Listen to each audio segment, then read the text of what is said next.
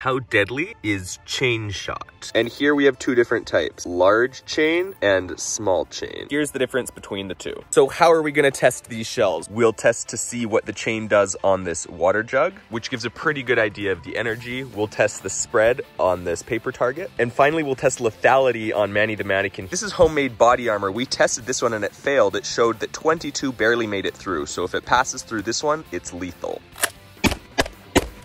Let's go see the results.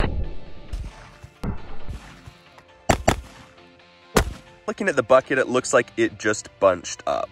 But this is where it gets exciting. This is like a snake. Something tells me that there's gonna be chain stuck in the wood here. Look at that chain everywhere. Yeah, that's not coming out. In fact, if you read this in cursive, it spells out the words go subscribe. But is it deadly? Not surprisingly, it's jammed in there. And it does not want to come out. So not as deadly as a 22, but this, really crazy.